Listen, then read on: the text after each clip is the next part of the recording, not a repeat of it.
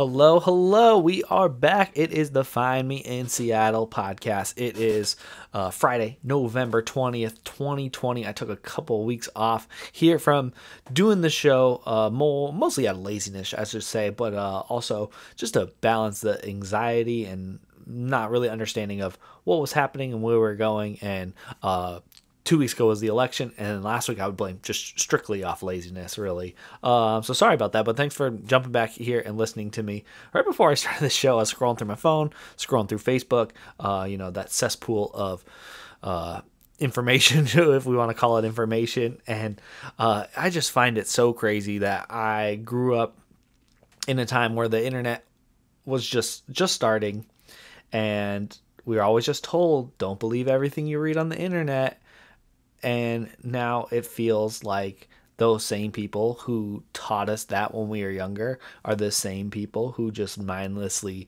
share nonsense on the internet, whether it's about politics or life or decisions or whatever it is. It just seems to be that uh, that same demographic of people who told us to look out um, are now the people who seem to flood these social channels uh, with headlines that they've read, and it's just absolutely crazy. The the post I'm thinking about was just um, all these news corporations around the country having the same speech about not believing everything that you read online, and there's so much fake news out there, and not to share fake news and the person's calling out mainstream media. And it just was weird to me because i was like aren't they aren't you saying the same thing? Like it sounds like this mainstream media is saying don't believe everything you read and don't share everything you read. And then you're saying they're the ones that are lying. I was like i think that sounds pretty uh, agreeable to me that we shouldn't be sharing things that aren't research or things you don't understand or critical before we have all of the information. And uh, yeah, so that's maybe my first rant here of the time. It's just social media. It's it's interesting how that impacted me so much mentally. It delayed uh, the start of the recording here, and I've just can't get my mind off it. And so that's you know the first thought shared here this week during the podcast.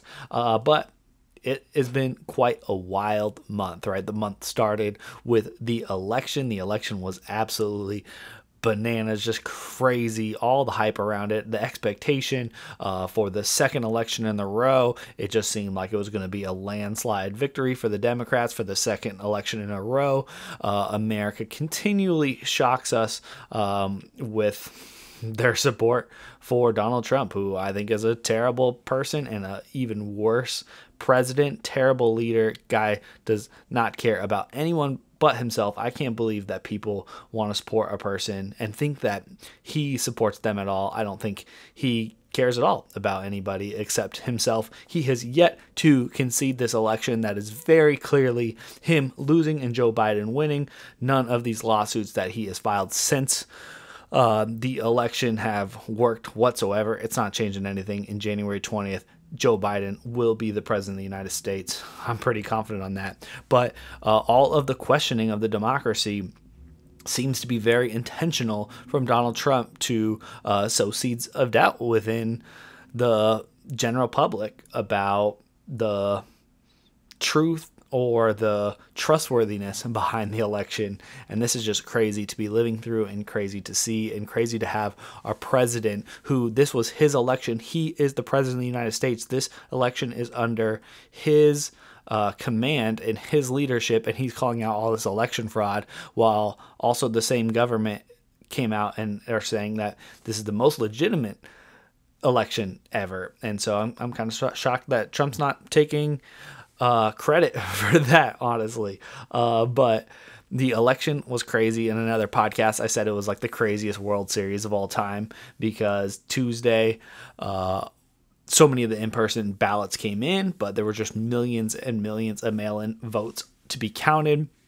So we all went to bed on Tuesday with not a clear picture, but definitely a clear picture that Trump was going to get more votes than uh, I expected or I wanted, and uh, it went all the way. The election wasn't called until Saturday, and every day, uh, I'm sure you were the same. You were just watching whatever news organization you prefer, or checking it out on Google or some website for what was happening as the, votes seemed to trickle in one by one. It it just took a long time, but counting these ballots is a lengthy process, especially when you have millions and millions more people voting by mail than uh, had ever done before, which I think was amazing and super cool. That's democracy uh, working at its best and giving more people the opportunity to vote, given that it's a pandemic, uh, which is worse than ever right now, November 20th. And it is crazy. This morning I drove up Aurora, and that's where the closest free COVID testing site is to myself. And I've been there three times now over this year. And the COVID testing site is like in this converted. It used to be like one of those oil change like drive through stations, and you pull into the driveway and you drive kind of uh, maybe 50 less than 50 yards down, and then you pull into the station where you get tested. And today, when I drove by, the line went out of that driveway, which just to get to the entrance would have been twice as long as I've ever seen it. And then it went three blocks down the street um, in the one lane. They had two security officers there guiding the line. And I'm hoping that that's just a lot of people getting tested, trying to create their own bubbles within uh, with the Thanksgiving holiday coming up this next weekend. But to see that line was uh, was just very scary. I hope the people that actually have symptoms are able to get tested, and but I'm expecting a lot of those people are just trying to get a negative test result so they can see their families, uh, which is understandable. I've done the same thing for other holidays, so I get it. Uh, but with that COVID, we had the newest shutdown and what they're calling the third wave of the coronavirus this week. And this is really why I wanted to get here on the show and get back on the mic because I need to document these things. Uh, if you're curious about some of those election results or the COVID stuff, uh, check out Community's Verb over there where I go deeper into some of those thoughts. But we have this COVID shutdown this week. Uh, Jay Inslee pretty much shut down uh, gyms, bars, uh, and restaurants for all dine in in person activities. Um, and retail establishments got limited to 25% capacity. If you're a restaurant, you can still obviously do to go, and you can seat people if you have an outdoor seating area. Which the outdoor seating area has been kind of funny to watch because these businesses are like setting up these tents, and because it's so cold outside and it's raining, the tents are like fully surrounded. So they just kind of created a new building, um, and it's not really like a filtered airspace. And so it's just kind of weird that we've made these businesses set up these tents that are outside, but they're not outside because once you put up the four or five walls, it's inside again. And that's just kind of like the more I think about it, I'm like, yeah, this is kind of weird.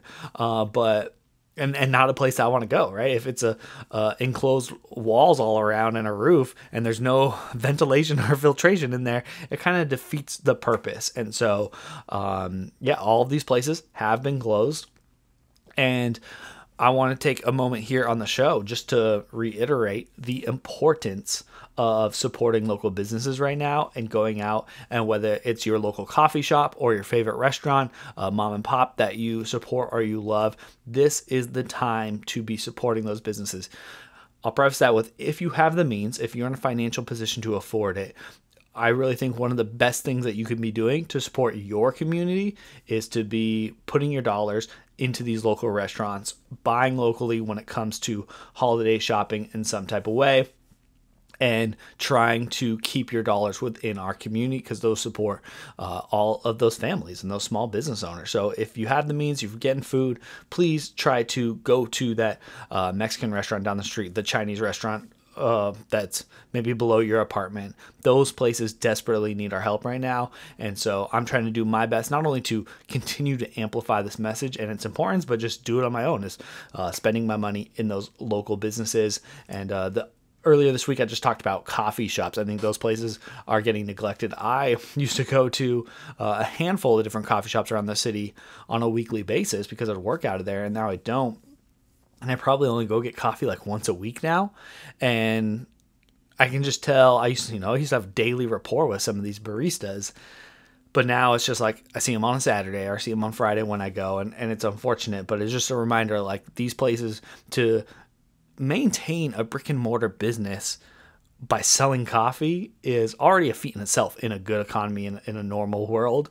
Uh, but now it's even worse because nobody's going out. Everyone's kind of inside. We all got our own coffee makers. And so if you have the means, please uh, schedule some time to go pick up some food to go if you feel safe doing that, of course, uh, because those businesses really appreciate it and they really need it. It's, it's going to be important for the survival of our culture in all of our cities to have these businesses survive through this pandemic, and uh, that's going to be you know at least another year of going through this and managing social distancing until we really figure out long-term solutions. So I implore you, if you can go pick them up yourself, do that. Obviously, wear a mask, practice uh, all your safety precautions. But if you want to get it delivered, that works too.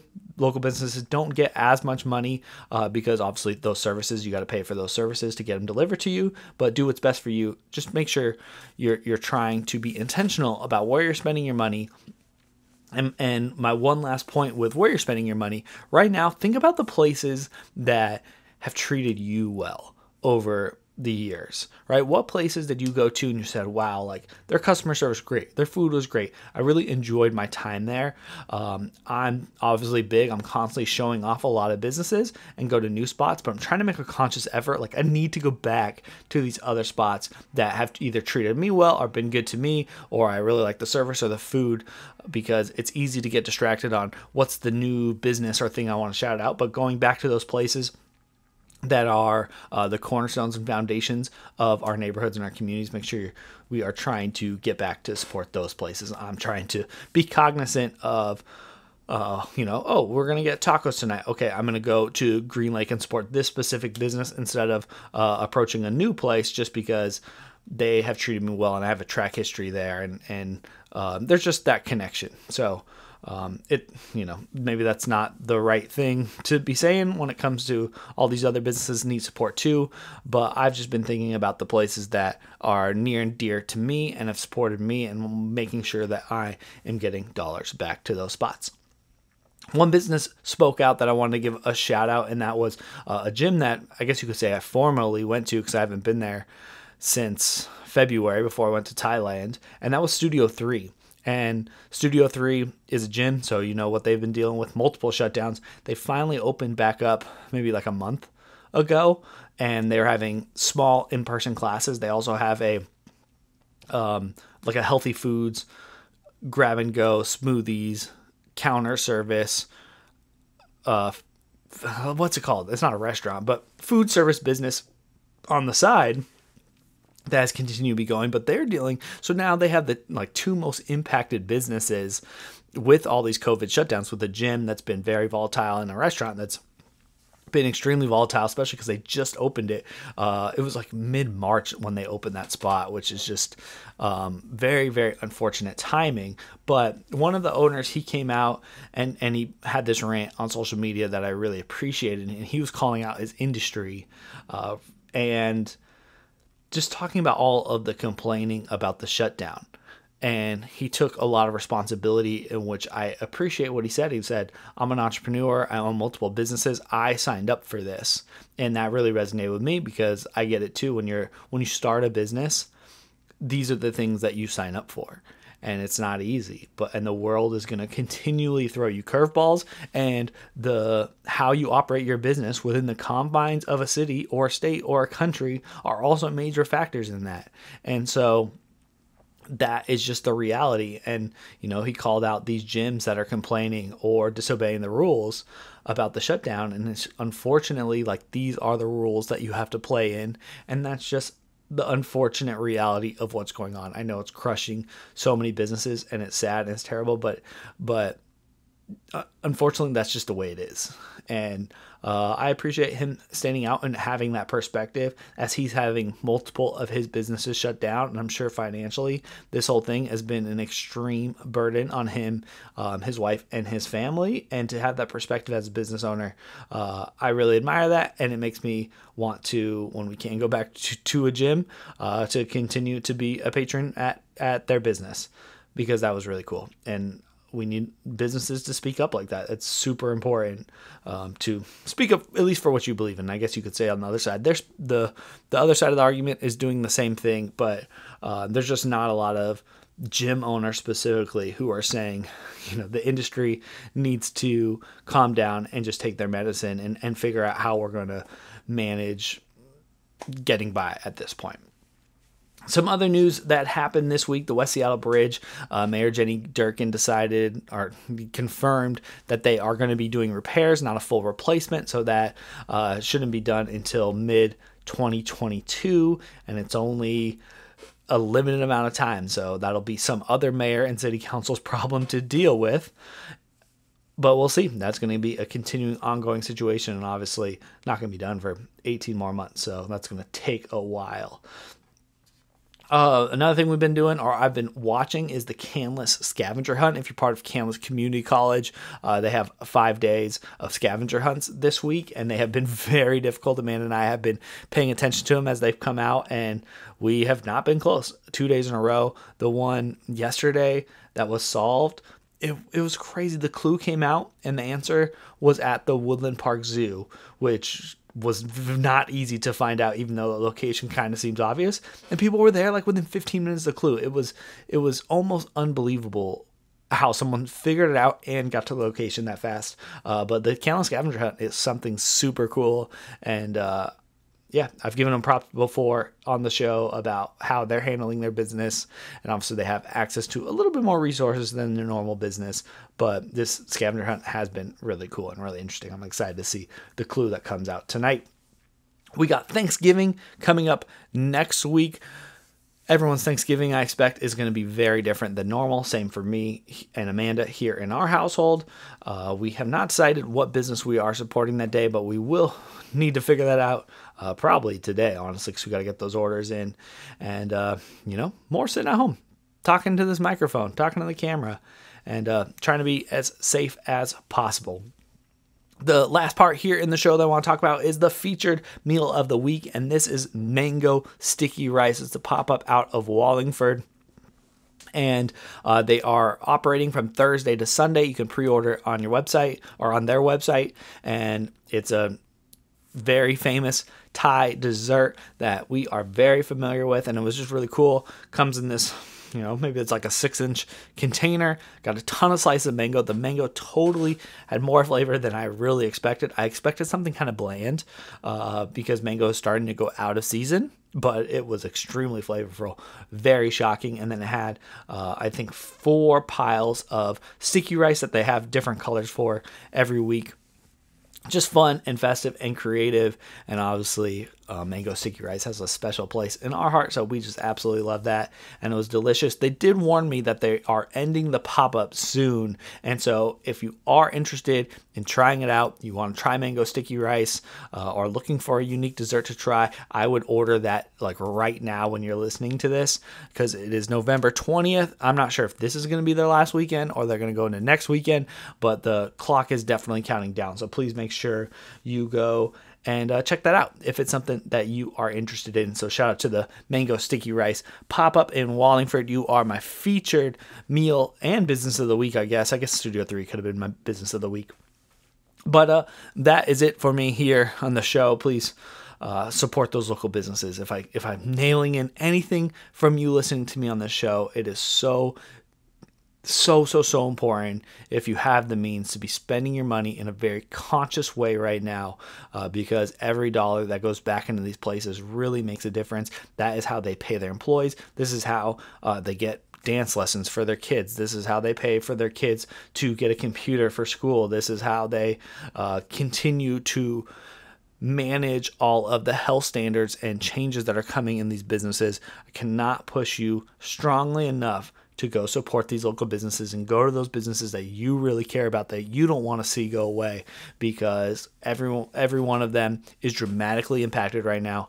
Everyone none of them are really thriving if you want to consider that at least here in this city. I will some are doing really well, but it's it I would recommend to not have that perspective, and, and every dollar really counts right now. So please go do that. And uh, I appreciate it, and I know they will too and it'll eat something good. It's it's really become the that seems the highlight. It's it's the uh, what's for dinner tonight question is an ongoing debate and it probably will be forever, but it is kind of the highlight and something different to do. It's really the only chance that a lot of us get to go out if you have access to the transportation to drive your car walk in, pick up the food, walk right out, and enjoy the meal any way you can. I've had so many car dinners this uh, year. It's been very interesting and and uh, different, but it could be way worse. I'm super grateful for the many many blessings that I have realized this year in 2020. Thanks for listening to the show. Please uh, give me five stars if you enjoy it whatsoever, especially if you're on iTunes. Scroll right down right now swipe over, give it the five stars. That would really help me a lot. Um, there's a lot of competition in the space. If you're watching this here on YouTube, love a, a thumbs up. Subscribe if you're more interested and you want to see some more stuff. Shoot me a message. As always, I am Conner Cayson, your host here at the Find Me in Seattle podcast. Be safe out there. Wash your hands. Treat people kindly. Support those local businesses. And we will see you next week.